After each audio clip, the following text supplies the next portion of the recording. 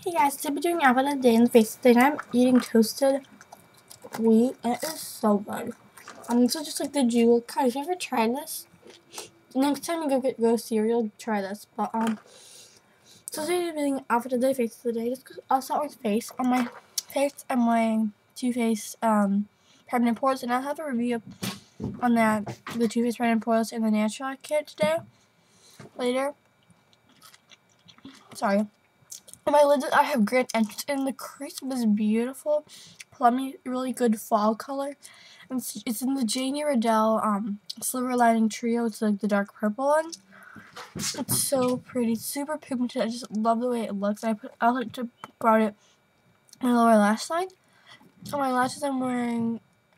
Uh, I'm running out of my hard candy lash primer, so I wore double wear. I see a lot of double wear lash primer in the falsies.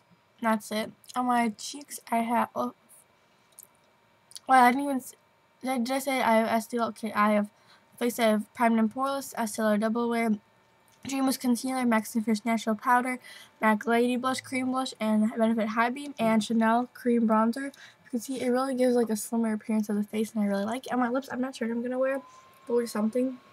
My outfit, I'm just wearing a plain white like V-neck under from Forever 21 and the little camis from Arrow. Wearing a juicy sweater, and it looks like that in the back. It has like some really cool design-ish thing. I don't know.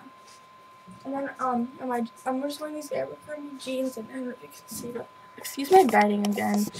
I'm not like the most clean person. They're just like ripped here, and yeah. And then I'm wearing with them.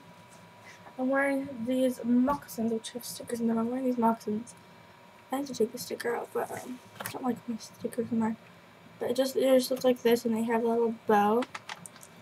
And they're really, they're like slippers, honestly. They're so warm. And I think it's just how ridiculous how warm they are. So it's chilly outside today. So that's my little face of the outfit of the day. And also, yes, I did put curl formers in last night, so that's why my hair's curly. I've been really into doing curl formers. I've been doing them like every, like, like I would put them in one night, and then the next day I would have this, and then tomorrow they'll be like kind of followed out like I had yesterday. And then I would do them again and the same thing. So it's been really fun.